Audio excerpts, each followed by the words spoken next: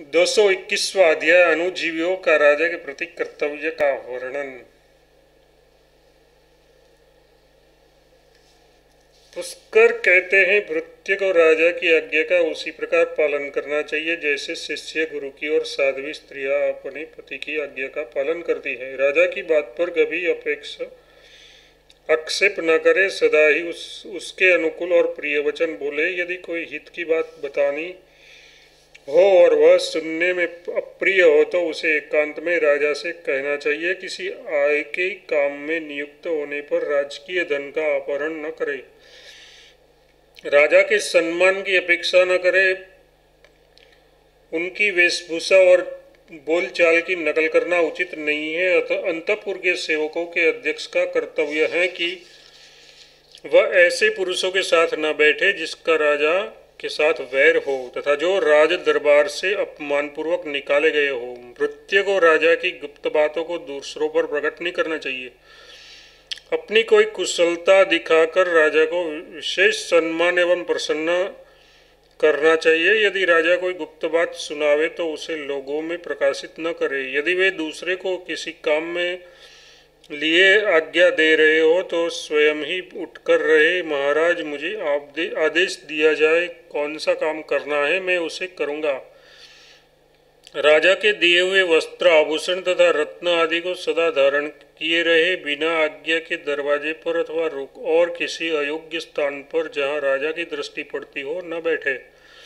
जम्भाई लेना थूकना, खांसना, क्रोध प्रकट करना खाट पर बैठना भौएँ टेढ़ी करना अधोवायु छोड़ना तथा डकार लेना आदि कार्य राजा के निकट रह, रहने पर न करे। उनके सामने अपना गुण प्रकट करने के लिए दूसरे को ही युक्ति पूर्वक नियुक्त करे। सठता लोलुपता चुगली नास्तिकता नीचता तथा चपलता इन दोषों का राजा राज सेवकों को सदा त्याग करना चाहिए। पहले स्वयं प्रयत्न करके अपने में वेद, विद्या एवं शिल्प कला की योग्यता का संपादन करें। उसके बाद अपना धन बढ़ाने की चेष्टा करने वाले पुरुषों को अभ्युदय के लिए राजा की सेवा में प्रवृत्त होना चाहिए। उनके प्रिय पुत्र एवं मंत्रियों को सदा नमस्कार करना उचित है। केवल मंत्रियों के साथ रहने से राजा का अपने ऊपर विश्वास नहीं होता।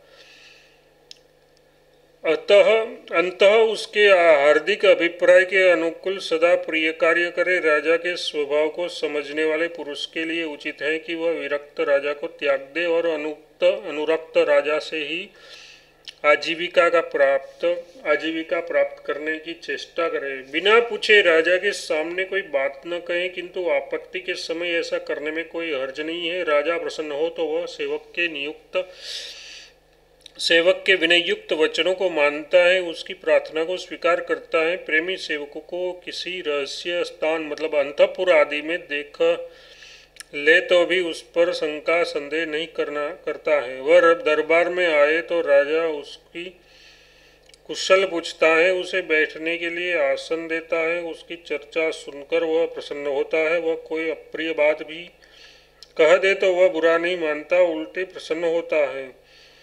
उनकी दी हुई छोटी छोटी वस्तु भी राजा बड़े आदर से ले लेता है और बातचीत में उसे याद रखता है। उक्त लक्षणों से राजा अनुरक्त अनुरक्त है या विरक्त, वह जानकर अनुरक्त राजा की सेवा करे, उसके विपरीत जो विरक्त है उसका साथ छोड़ दे। इस प्रकार आदि अग्नि महापुराण में अनुजी अनुजी विवृत्त कथन नामक दो सौ इक्कीसवा अध्याय पूरा हुआ।